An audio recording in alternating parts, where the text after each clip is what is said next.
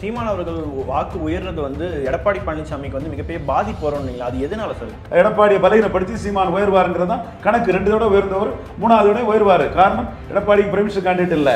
கூட்டணி பலம் இல்லை. ஈர்ப்பு சக்தி இல்லை. அதுதான் ஈரோடு கிழக்கையும் கிழக்கு அந்த இண்டிகேஷனை காட்டிச்சு. எடப்பாடி பழனிசாமி பலகீனமடைவார் சீமான் அதுல பலனடைவார்ங்கிறது என்னோட கணிப்பு.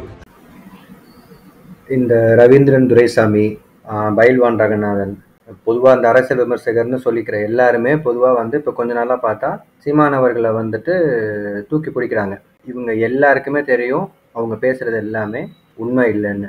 அவங்க ஏன் அதை தூக்கி பிடிக்கிறாங்க அப்படின்னா தம்பிகள் சீமானை உயர்த்தி பேசினா தம்பிகள் வந்து நிறைய பேர் அவங்களோட வீடியோவை பார்த்து அதனால அவங்க வியூஸ் கூடி அவங்களோட நிலையை உயர்த்திக்கிறதுக்காக மட்டும்தான் இப்படி பேசுகிறாங்களே ஒழிய அது உண்மை கிடையாது. பெஸ்ட் எக்ஸாம்பிள் வந்துட்டு இவர் இப்போ ஈரோடு கிழக்கு சொல்கிறார் தெரியுமா? அதில் ரெண்டாயிரத்தி இருபத்தி ஒன்றில் வந்துட்டு நாம் தமிழர் பதினோராயிரம் ஓட்டு வாங்குச்சு.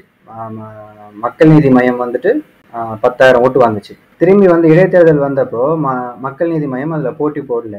இருந்துமே நாம் தமிழர் பத்தாயிரம் ஓட்டு தான் வாங்குச்சு. ஸோ அவர் சொல்கிற மாதிரி எடப்பாடியோட அதாவது அதிமுகவோட ஓட் பேங்க்லையோ இல்லை வேற எந்த ஓட் பேங்க்லேயுமே வந்து நிச்சயமாக நாம் தமிழர் எந்த ஓட்டையும் போடலை.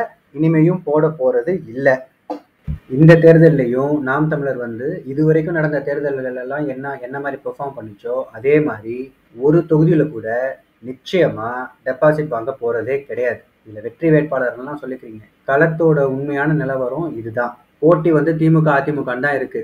அதுக்கப்புறம் பிஜேபி வந்து சும்மா சோஷியல் மீடியா இதுதான். நீங்க மூணாவது பிளேஸ் வரத்துக்கு தான் வாய்ப்பு இருக்க ஒழிய இந்த அரசியல் விமர்சகர்கள் சொல்றதுக்கெல்லாம் ஃபயர் விட்டுக்கிட்டு நம்பிட்டு இருக்காதீங்க.